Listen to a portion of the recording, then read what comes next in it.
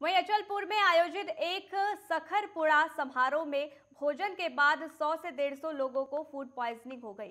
खाना खाने के बाद नागरिकों को उल्टी हो रही थी, जिसको अस्पताल में भर्ती कराया गया।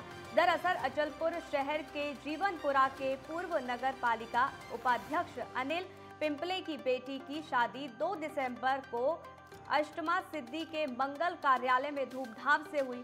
कार्यक्रम में जीवनपुरा के 800 से अधिक नागरिकों ने भाग लिया। ये जानकारी मिल रही है। शादी समारोह में खाना खाने के बाद 3 दिसंबर से कई लोगों को कई तरह की शिकायतें शुरू हो गई थी और 4 दिसंबर से यह परेशानी काफ़ी बढ़ गई कि लोग निजी अस्पताल में भर्ती हुए, जबकि कई अन्य को उप जिला अस्पताल में इलाज के लिए भर्ती कराया गया। फ़िलहाल पुलिस इस मामले की जाँच में जुटी हुई है।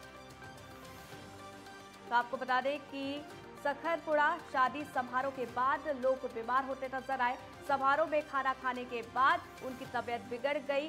पूर्व नगर पालिका उपाध्यक्ष की बेटी की शादी थी। 2 दिसंबर को शादी समारोह हुआ था, जिसमें 800 से अधिक नागरिकों ने भाग लिया था। डेढ़ सौ से ज़्यादा लोगों की हालत खराब है, ये बताया जा रहा है। मामले की जाँच में फ़िलहाल पुलिस जुटी हुई है।